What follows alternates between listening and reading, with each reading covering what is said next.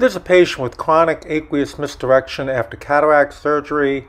She has a myopic outcome due to anterior effective lens position, chronic glaucoma, and uh, she's also bothered by uh, vitreous floaters. So we're placing three pars plana trocars and we're placing them slightly less than three millimeters posterior to the limbus, whereas normally we put these a little bit further back in this tiny little eye. We want to be uh, careful to place these a bit more anterior.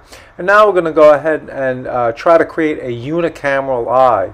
Uh, we're going to first go ahead and do a pars plana vitrectomy, and you can see that she's got a lot of uh, webby, uh, cloudy, uh, vitreous floaters that are really bothering her. So we're going to go ahead and clean that up anyway, since we're trying to create a unicameral eye and do a, a good vitrectomy here. And so we're going to clean all this uh, uh, webby, uh, turbid stuff out uh, while we do this. Uh, we're using um, a vitrector here with the cut rate uh, at 5000. And now we'll work our way anterior and remove the more peripheral anterior vitreous 360 degrees.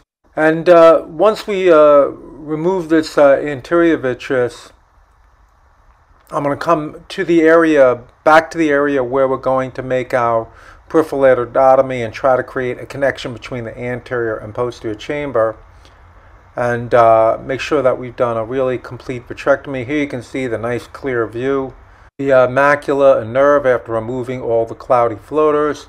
Uh, we're now going to try to make sure we've removed all of the vitreous uh, anteriorly uh, where we're going to uh, make our communication between the anterior and posterior chamber.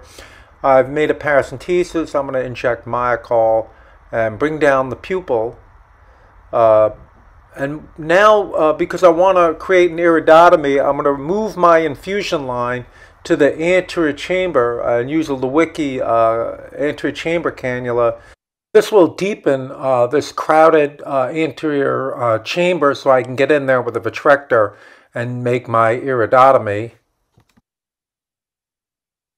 And you'll notice when I do this, I don't go all the way out to the periphery because I don't want to hit uh, the ciliary body and cause a lot of bleeding.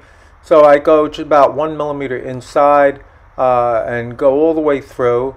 And now I'm going to go back through the pars plana and make sure I create a communication uh, through the peripheral capsular bag uh, all the way through. There you go. You can see I'm uh, all the way through. And so now I've created a unicameral eye and the case is completed. We'll go ahead and remove these trocars, uh, inject a little antibiotics, and uh, we're done. Uh, thank you for your attention.